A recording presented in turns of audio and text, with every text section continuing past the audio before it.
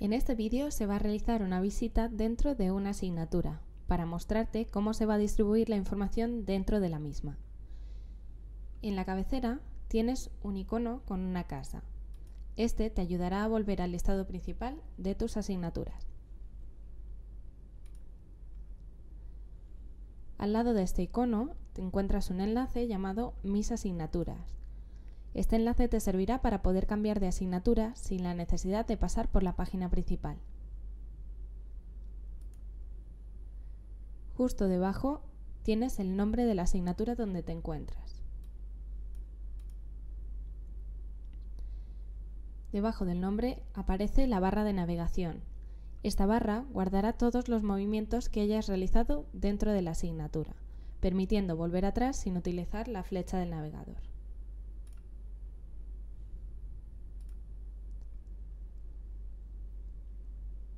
En los laterales vas a encontrar bloques que te van a dotar de más funcionalidad dentro de la asignatura. A la izquierda, los bloques que encontrarás son el bloque de navegación. Este es el mismo que tienes en la página principal de Moodle cuando entras. Lo más destacable de este bloque es que puedes editar la información de tu perfil desde él.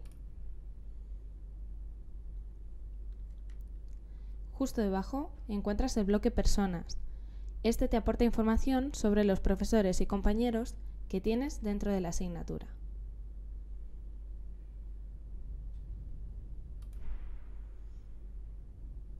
Justo debajo encuentras el bloque correo, donde recibirás todas las comunicaciones que te realicen el profesor y el resto de compañeros de la asignatura. Desde él también podrás comunicarte enviando correos al profesor o a los compañeros.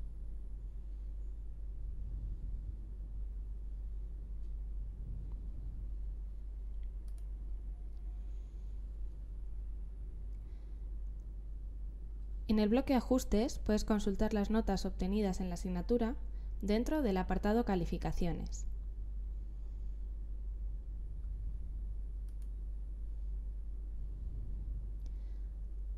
A la derecha dispones del bloque Calendario. Este calendario es propio de la asignatura. En él encontrarás todos los eventos de interés que haya generado el profesor dentro de la misma. Por ejemplo, actividades, exámenes, avisos del profesor de sesiones de chat, etc.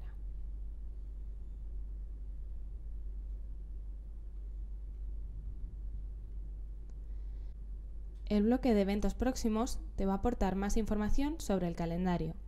Aparecerán en él los eventos ordenados por fecha, teniendo más arriba los que están más recientes.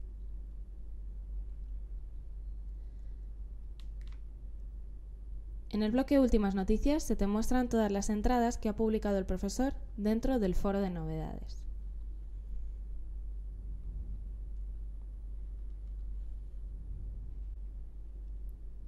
En la parte central se encuentra la barra de comunicación y toda la información de interés de la asignatura. En la barra de comunicación vas a encontrar el foro de novedades. Este es un tablón de anuncios donde solo escribirá el profesor cada vez que el profesor publique un mensaje en este foro, inmediatamente se te publicará en el bloque Últimas noticias.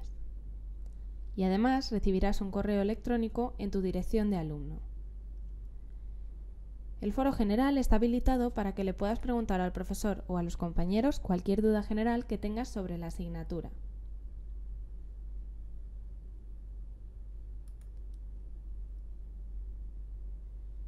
Por último, encontrarás el chat. A través de esta sala de chat, el profesor podrá convocar sesiones de tutorías para tratar dudas generales de la asignatura.